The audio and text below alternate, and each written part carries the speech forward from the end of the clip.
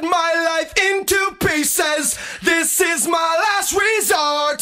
Suffocation.